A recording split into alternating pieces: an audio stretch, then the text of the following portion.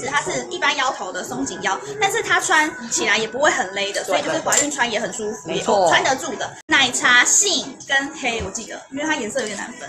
好，这个它的材质可以看到它是针织的针织棉的布料，然后它是有点压纹的压褶直条的压褶，然后它的版型就是直筒，就是你穿上去也会很修身，就是可以修掉你的马鞍肉、屁股，然后跟腰这边的肉。